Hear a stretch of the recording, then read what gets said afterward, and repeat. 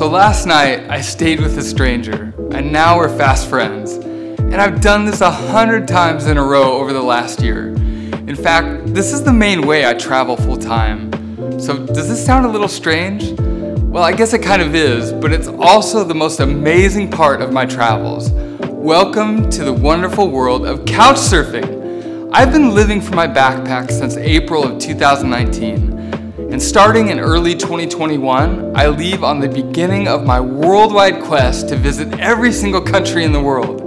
But first, I will focus on the United States and visit all 50 states, couchsurfing every single one as I go. And I will be documenting this journey by video, telling unique stories about the people, the food, the culture, and anything else I find interesting on the road. And the best part, you can even be featured in these videos.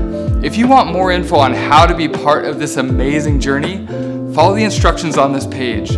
I can promise you it will be an experience that you'll always remember. I hope to see you on the road.